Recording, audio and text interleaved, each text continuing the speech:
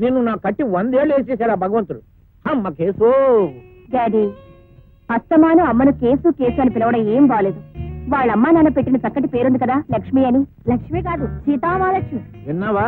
దాన్ని ఎలా పిలవాలో అలా పిలిస్తే దానికి తృప్తి నాకు తృప్తి. అవును ఈ వేళ నీ పుట్టినరోజు సాయంకాలం పార్టీ ఉంది నువ్వు ఇంకా ఎక్కడ ఉన్నావంటే షాపింగ్ వెళ్ళక?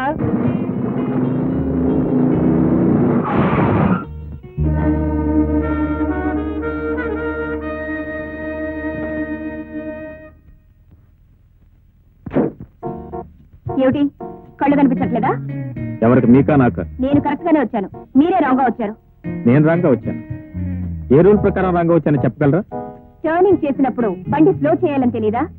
అలా చేయకుండా వచ్చిన మిమ్మల్ని ట్రాఫిక్ యాక్ట్ షెడ్యూల్ టెన్ ప్రకారం కేసు పెట్టి కటకటాల్లో చేయించగలను. యాక్సిడెంట్ చేసి డాష్ కొట్టిన చాలక? ఇలా బెదిరించి న్యూసెన్స్ చేస్తే IPC section two nine zero ప్రకారం మీ మీద క్రిమినల్ సూట్ ఫైల్ చేసి వినోదా రాత్రి కొట్టిన మందు ఇంకా దిగక. హ్యాంగ్ ఓవర్ మీద ఒళ్ళు మరిచి బండి నడుపుతున్నావని రుజువు చేసి IPC section two nine seven ప్రకారం మిమ్మల్ని లోపలికి తోయించగలను. రోజు బెంజులు వచ్చేవాడిని ఏదో చిన్న చేంజ్ కోసం మోటార్ సైకిల్ మీద వస్తే నన్ను గాయపరిచినందుకు సెక్షన్ త్రీ టూ త్రీ ప్రకారం మీకు ఏడేళ్ళు కఠిన కారాగార శిక్ష వేయించగలను. మిస్టర్ సెక్షన్ల మీద సెక్షన్లు చెప్తే నేనేదో భయపడిపోతాననుకోకు చట్టం నాకు తెలుసు. నువ్వే కాదు నేను లాయర్ని. లాయర్? మీరు వచ్చి లాయర్ నేను supreme court lawyer supreme court లాయరా so what my dear lawyer గారు మీకు చట్టం అంతా తెలిసి వచ్చి మాట్లాడుతున్నారు కదా? మీ పెద్ద బండి నా చిన్న బండిని కుట్టిన శిక్ష ఏమిటి? తులమానం ఏమిటి? వంకాయ్. వంకాయ? బ్రింకా ఇదిగో. ఈ డబ్బు తీసుకో. కొత్త బండి కొనుక్కో. ఈ బండి నా ఇంట్లో తెచ్చిపడే. రోడ్ నంబర్ పన్నెండు ఇంటి నంబర్ ఇరవై రెండు. ఏంటి అయిపోతుంది. నోరు మూసుకో. ఇదిగో పెళ్ళి కానీ లాగర్లు వచ్చారు. అమ్మాయికి సరిపోయే కుర్రోడు ఎవరో చూసి కనిపెట్టు. అలాగే.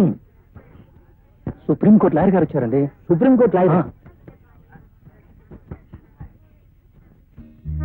Hello. Hello how do you supreme court లాయరా మీరు? Very glad to meet you thank you నేను కూడా లాయర్ని సుప్రీంకోర్టు దగ్గర రావాల్సింది. మరి ఎందుకు రాలేపోయారు కేసులు కాక supreme court lawyer. Hello. Hello. Many many happy returns supreme court lawyer అమ్మా పుట్టినరోజున పసిపాపను బాధపెట్టిన పాపానికి ఎవిడెన్స్ యాక్ట్ ఫిఫ్టీ ఎయిట్ ప్రకారం అప్రూవర్గా మారి నాకు నేను విధించుకున్న జరిమానా. మీ ప్లీజ్ యాక్సిడెంట్ బాబు మీరు ముందే యాక్సిడెంట్ అలా కలుస్తున్నాం. లేదు యాక్సిడెంట్లో కలుసుకున్నాం. యాక్సిడెంట్లో కలుసుకున్నారా? ఏం యాక్సిడెంట్? ఏం యాక్సిడెంట్? ఏం యాక్సిడెంట్? Excuse me యాక్సిడెంట్కి వడ్డీయా? మీరు ఇచ్చిన డబ్బుకి చక్రవర్తి ఆ అబ్బాయిని చూడండి. మీకేమన్నా వాడు బట్టలు. బట్లర్ అయితే బట్టలు చూతాడు వంట పని చేస్తాడు ఇంట్లో అమ్మాయి కావాల్సిన అన్ని అన్ని పనులు చేసి పెడతాడు కదా. ఈ నెత్తి నా మొహం కోరు మూసుకో. ఆ అబ్బాయి చూడు ఎలా ఉన్నాడు? చాలా బాగున్నాడు. Supreme court lawyer. ఉదయం పోట్లాడారు. సాయంత్రం లోపల అడ్రస్ పట్టుకొచ్చేసారు అడ్రస్? మీరేగా ఇచ్చారు అడ్రస్? నా పుట్టినరోజు చెప్పలేదుగా అదే. చెప్పకుండా తెలుసుకుని తెలియకుండా వచ్చిన ప్రతి. బాబు మీరు రావడం నాకు నిజంగా తెల్లుగా ఉంది. థ్యాంక్ యూ ఏదైనా కేసు మీద వచ్చారా? పిలవలేదు. కేసు అన్నారు కదా. బుద్ధి లేక అన్నాను వెళ్ళు ఇదిగో ఇలాగా ఈమె స్వప్న తల్లి నా భార్య. నమస్తే. గుడ్ మార్నింగ్ ఏ, ఏమనుకోకండి. కేసు అని పిలిస్తే చాలు ఇలా వచ్చేస్తూ ఉంటుంది. ఎందుకనండి? నేను లాయర్ అవగానే ఒక కేసు పట్టుకున్నాను బాబు.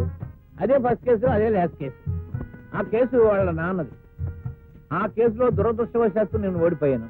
ఓడిపోగానే వీళ్ళ ఆస్తి పోయింది ఆస్తి పోయినా మనం ఫ్యూచర్ చేస్తాం కదా? Naturally fee ఇవ్వమన్నాను. ఫీజు లేదు పిల్ల ఉంది కావలిస్తే పట్టుకెళ్ళమని సత్రాజిత్తు శ్రీకృష్ణుడికి శమంతకమణిని అప్పచెప్పినట్టు ఈ కేసు నాకు అప్పచెప్పాడు. బాబు లేదు. బాబు మన చట్ట ప్రకారంగా మన దేశంలో మాక్సిమం మనిషికి పద్నాలుగేళ్ళు శిక్ష. దీన్ని నాకు వీళ్ళ బాబు కట్టి నూరేళ్ళు శిక్ష విధించాడు బాబు. చూసారా అల్లుడు గారు ముందు నన్ను ఇన్సల్ట్ చేస్తున్నారు. అల్లుడా? మీరే కదా అన్నారు. ఏ అబ్బాయి నచ్చితే ఆ అబ్బాయి అల్లుడని. నాకు ఈ అబ్బాయి నచ్చాడు.